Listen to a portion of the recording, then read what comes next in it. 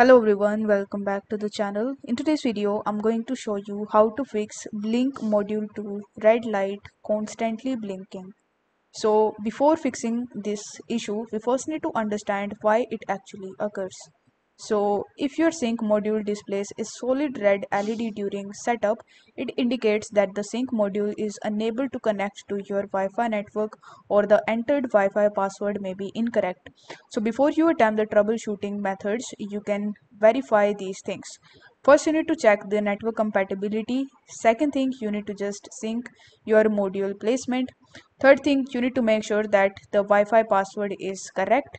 And the fourth thing that uh, you need to make sure is no application conflicts or there is no network interferences.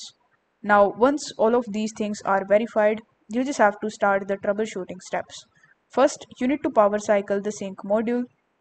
For that, you need to disconnect the sync module from power for 10 seconds, then plug it back in.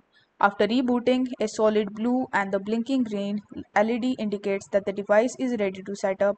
For additional troubleshooting methods, you can even go through their um, article on how to reset your sync module.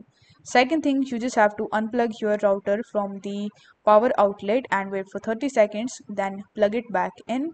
In the third method, you just have to try to disconnect any ports or the extenders and ensure that only your main router is powered on. After your module is connected successfully, you can reconnect your ports and extenders that were previously disconnected. So with the help of these few troubleshooting steps, you will be able to easily fix the red light keep on blinking in your blink module 2. I hope this video was helpful and if it was then don't forget to like the video and subscribe to this channel. Thank you so much for watching.